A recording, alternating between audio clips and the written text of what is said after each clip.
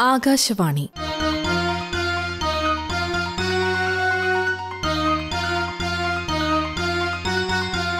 S I E T വിദ്യാഭ്യാസ രംഗം. വാർത്താവിനിമയ രംഗത്തെ നാഴികക്കല്ലുകൾ. എസ് ഐ ഇ ടി വിദ്യാഭ്യാസ രംഗം. കേട്ടു കേട്ട് പഠിക്കാം.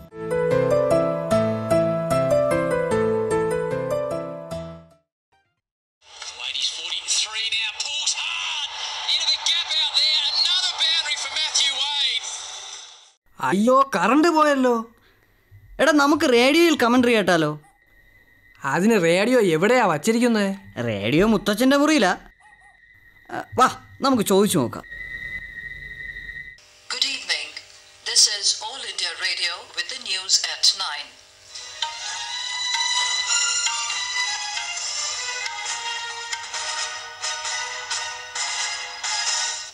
The headlines.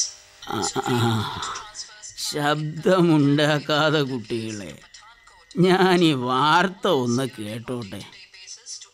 ആ എന്താ കുട്ടിപ്പട്ടാളങ്ങൾക്ക് ഇന്ന് ഇവിടെ കാര്യം? കറണ്ട് പോയി മുത്തച്ഛ. ടി വിയിൽ കളി കാണുമായിരുന്നു. മുത്തച്ഛന്റെ റേഡിയോ ഒന്ന് തന്നാൽ കമൻട്രി കേൾക്കായിരുന്നു. ഓ അപ്പോ അതാണു കാര്യം. എന്തായാലും നിങ്ങളിവിടെ വന്നത് നന്നായി. ഈ വാർത്തകൾ കഴിഞ്ഞ നിങ്ങൾക്കായൊരു പരിപാടിയുണ്ട് റേഡിയോയിൽ. അതെന്താ മുത്തച്ഛ? ഇന്നേ എസ് ഐ ടി വിദ്യാഭ്യാസ രംഗത്തിൽ വാർത്താവിനിമയ രംഗത്തെ നാഴികക്കല്ലുകളെക്കുറിച്ചൊരു ചിത്രീകരണമുണ്ട്. നമുക്കത് ഒരുമിച്ചിരുന്ന് കേൾക്കാം. അപ്പോൾ ക്രിക്കറ്റ് കമൻട്രി? ആ അതും ഇടയ്ക്ക് കേൾക്കാം. ആദ്യം ഈ പരിപാടി എങ്ങനെ ഉണ്ടെന്ന് നമുക്ക് നോക്കാം. അതിനു മുമ്പ് ഞാനൊന്ന് ചോദിക്കട്ടെ.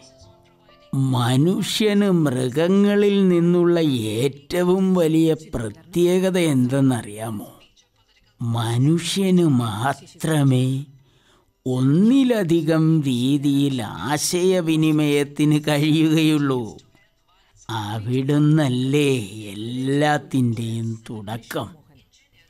ഭാഷകൾ രൂപപ്പെടുന്നതിന് മുമ്പ് ആശയവിനിമയം ആംഗ്യത്തിലൂടെയായിരുന്നു അപ്പോൾ ആശയവിനിമയത്തിന്റെ തുടക്കം അംഗവിക്ഷേപങ്ങളിലൂടെ ആയിരുന്നു അല്ലേ? അതെ. പിന്നെ ചിത്രങ്ങളിലൂടെയായി അതെന്ന് പറയാം. ആശയവിനിമയത്തിന്റെ കാര്യത്തിൽ പിന്നെ വന്ന വലിയ മാറ്റം എന്താ വൈദ്യുതിയുടെ കണ്ടുപിടുത്തമാണ് ആശയവിനിമയത്തെ അല്ലെങ്കിൽ വാർത്താവിനിമയത്തെ പിന്നീട് ഏറ്റവും സ്വാധീനിച്ചത്. അതെങ്ങനെ മുത്തച്ഛ? ഇപ്പോൾ തന്നെ നിങ്ങൾ എന്റെ അടുത്ത് വന്നത് കറണ്ട് പോയപ്പോഴല്ലേ. നോക്ക്. നമുക്ക് ചുറ്റുമുള്ള ബഹുജന വാർത്താ മാധ്യമങ്ങൾ എല്ലാം പ്രവർത്തിക്കുന്നതിന് വൈദ്യുതി അത്യാവശ്യമല്ലേ? ടി വി ആകട്ടെ റേഡിയോയാകട്ടെ ഇന്റർനെറ്റ് ആകട്ടെ മൊബൈലാകട്ടെ എല്ലാത്തിനും വൈദ്യുതി ആവശ്യമാണ്. വൈദ്യുതി എന്ന് പറഞ്ഞതേ ഉള്ളൂ. ഇതാ കറണ്ട് വന്നു. എന്നാലും നമുക്ക് ഈ ചിത്രീകരണം കേട്ടിട്ട് പോവാം. മുത്തശ്ശ റേഡിയോയുടെ ശബ്ദം ഒന്ന് കൂട്ടാമോ?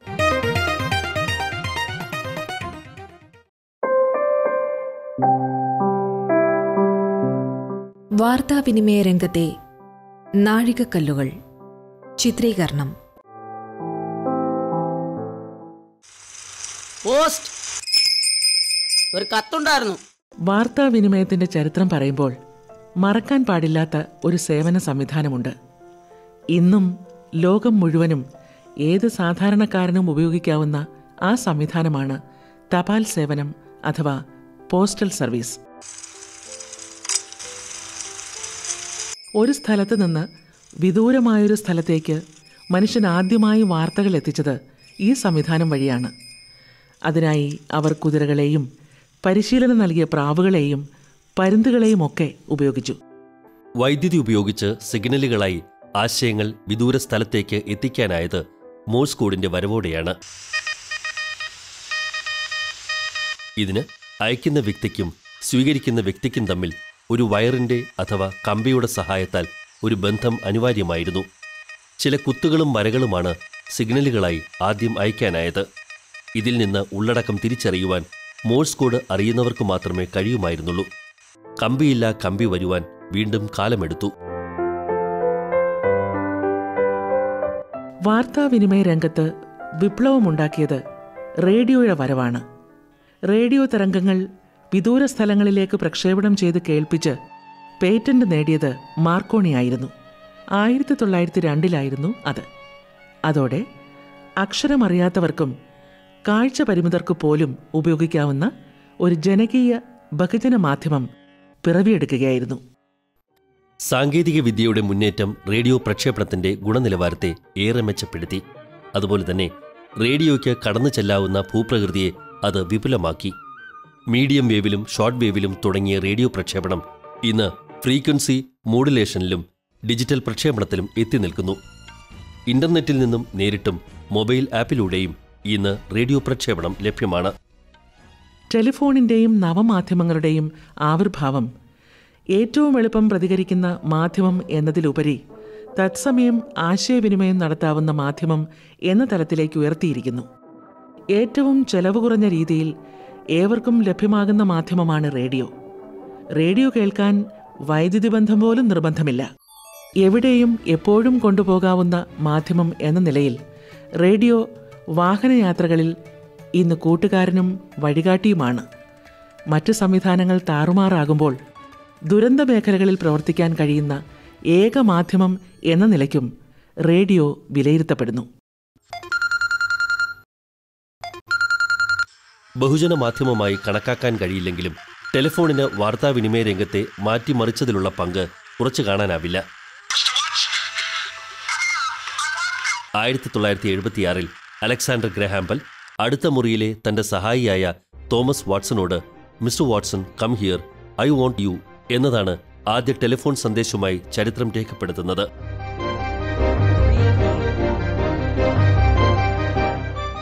ഇന്ന് ഫോണില്ലാത്ത ഒരവസ്ഥയെക്കുറിച്ച് ചിന്തിക്കാനാകുമോ?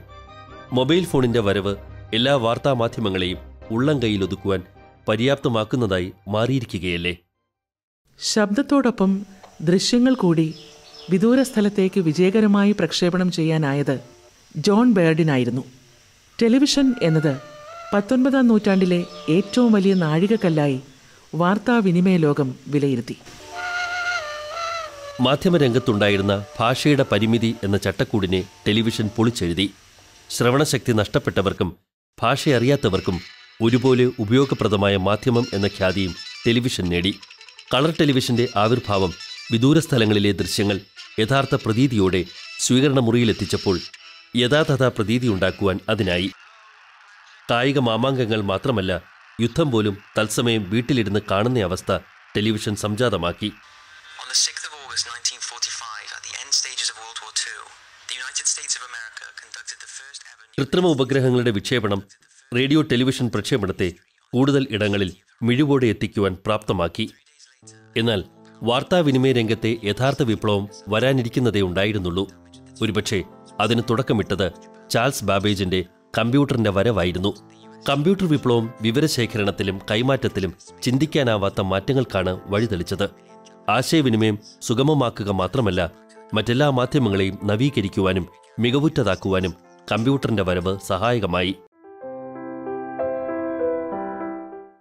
മാധ്യമരംഗത്തെ സാങ്കേതികവിദ്യയിൽ വന്നിട്ടുള്ള ഏറ്റവും സുപ്രധാനമായിട്ടുള്ള വികാസം അതിന്റെ ഡിജിറ്റൽ വൽക്കരണം തന്നെയാണ്. കേരള സർവകലാശാല ബയോ ഇൻഫർമാറ്റിക്സ് വിഭാഗം മേധാവി doctor Achyut Shankar S Nair. Information സിദ്ധാന്തം എന്ന പേരിൽ അറിയപ്പെടുന്ന ക്ലോഡ് ഷാനന്റെ മാസ്റ്റേഴ്സ് ബിരുദ തീസിസിലെ കണ്ടുപിടുത്തങ്ങൾ സാങ്കേതികവിദ്യയിൽ സമന്വയിച്ചപ്പോഴാണ് നമുക്ക് ഡിജിറ്റൽ സാങ്കേതികവിദ്യ ലഭ്യമായി തുടങ്ങിയത്. ഡിജിറ്റൽ സാങ്കേതികവിദ്യയ്ക്ക് പിന്നിൽ ശബ്ദവും ദൃശ്യവുമെല്ലാം തന്നെ യെസ് ഓർ നോ എന്ന ഡിജിറ്റൽ സ്ഥാനങ്ങളിലേക്ക് സന്നിവേശിപ്പിക്കാൻ സാധിക്കും എന്ന് ഷാനൻ സിദ്ധാന്തം സൂചിപ്പിച്ചിരുന്നു. ഇന്ന് ശബ്ദങ്ങളാകട്ടെ ചിത്രങ്ങളാകട്ടെ ചലച്ചിത്രങ്ങളാകട്ടെ ഇതെല്ലാം തന്നെ ഡിജിറ്റൽ രൂപത്തിൽ പൂജ്യം അല്ലെങ്കിൽ ഒന്ന് എന്ന സംജ്ഞ ഉപയോഗിച്ച് നമ്മൾ രേഖപ്പെടുത്തുമ്പോൾ ഷാനന്റെ സിദ്ധാന്തമാണ് പ്രാവർത്തികമാകുന്നത്. അതിനു പുറമേ ഇവയെ രേഖപ്പെടുത്തി വയ്ക്കുന്നതിലും ഇവയെ പകർത്തുന്നതിലുമെല്ലാം തന്നെ ഏകദേശം നൂറ് ശതമാനം കൃത്യത പാലിക്കുവാനും നമുക്ക് സാധിച്ചിട്ടുണ്ട്. ആയിരത്തി തൊള്ളായിരത്തി തൊണ്ണൂറുകളിൽ കമ്പ്യൂട്ടറുകൾ കൈകോർത്ത് പിടിച്ച് ഒരു വമ്പൻ ശൃംഖലയായ ഇന്റർനെറ്റ് കൂടുതൽ പ്രചാരത്തിലായി തുടങ്ങിയപ്പോൾ കണക്ക് കൂട്ടുന്ന യന്ത്രങ്ങളിൽ നിന്ന് കമ്പ്യൂട്ടറുകൾ മാധ്യമങ്ങളായി മാറി. ആദ്യം പത്രങ്ങൾ ഇന്റർനെറ്റിലേക്ക് ചേക്കേറി. വായനക്കാർക്ക് അഭിപ്രായം രേഖപ്പെടുത്താവുന്ന സാധ്യത അതിനെ അച്ചടി പത്രങ്ങളിൽ നിന്ന് വേറിട്ട് നിർത്തി. താമസിയാതെ കേന്ദ്രീകൃതമായ മാധ്യമങ്ങളിൽ നിന്ന് മാറി ഓരോ പൗരനും അവരുടെ മാധ്യമ ഇടം നൽകുന്ന ഒരു ജനകീയ വേദിയായി ഇന്റർനെറ്റ് മാറി. യൂട്യൂബ് ജനങ്ങൾക്ക് അവരവരുടെ വീഡിയോ ചാനലുകൾ തുടങ്ങാനും അത് ബഹുജന ശ്രദ്ധയിലെത്തിക്കാനും വേദിയൊരുക്കി. ഫേസ്ബുക്ക് ആകട്ടെ കുറെ കൂടി വൈവിധ്യമുള്ള ജനാധിപത്യ അധിഷ്ഠിതമായ മാധ്യമവേദിയായി മാറി. കേന്ദ്രീകൃതമായ മാധ്യമ സ്ഥാപനങ്ങളെക്കാൾ ലോക ശ്രദ്ധ പിടിച്ചുപറ്റാൻ വ്യക്തികൾക്കാകുന്ന അവസ്ഥ സംജാതമായി. ഇതിനെയെല്ലാം പതിന്മടങ്ങ് ശക്തമാക്കിക്കൊണ്ട് കമ്പ്യൂട്ടറുകൾ മൊബൈൽ ഫോണിലേക്ക് ചേക്കേറി. അവ ജനങ്ങളുടെ എല്ലാ തലത്തിലും എത്തിച്ചേർന്നതോടെ ഇന്റർനെറ്റും അതിൽ ലഭ്യമായ സേവനങ്ങളും സാമാന്യ ജനങ്ങൾക്ക് പ്രാപ്തമായി. ഒരു ഇലക്ട്രിക് ഉപകരണത്തിന്റെ സഹായത്തോടെ സന്ദേശങ്ങൾ ഒരേ സമയം പല മടങ്ങാക്കി പലയിടത്തും എത്തിച്ചിരുന്ന ബഹുജന മാധ്യമങ്ങൾ ഇന്ന് പുതിയ ഇന്ദ്രിയ അനുഭവങ്ങൾ പങ്കുവയ്ക്കാനുള്ള അന്വേഷണത്തിലാണ്. അച്ചടിയന്ത്രത്തിന്റെയും ടൈപ്പ് റൈറ്ററിന്റെയും വരവ് എഴുത്തിനെ മാറ്റിമറിച്ചതുപോലെ പത്രമാസികകളെ മാറ്റി എഴുതിയതുപോലെ ഇലക്ട്രോണിക് മാധ്യമങ്ങളും പുതിയ മേച്ചിൽപ്പുറങ്ങൾ തേടുന്നു. ഓൺലൈൻ പത്രങ്ങളും നെറ്റ് റേഡിയോകളും ചാനലുകളും ഇന്ന് വാർത്തയല്ല. ശബ്ദത്തിനൊപ്പം ദൃശ്യവും എന്നത് കഴിഞ്ഞ് മറ്റെന്തെങ്കിലും ഇന്ദ്രിയ അനുഭവം നൽകാനാകുമോ എന്ന അന്വേഷണത്തിലാണ് നവമാധ്യമങ്ങൾ.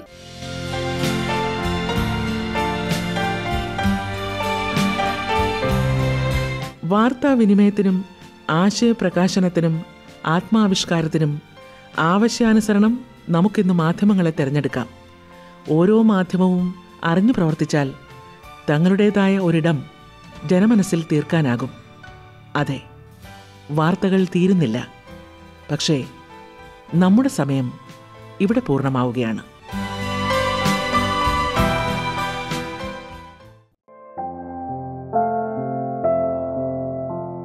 വാർത്താവിനിമയ രംഗത്തെ നാഴികക്കല്ലുകൾ. ചിത്രീകരണം സമാപിക്കുന്നു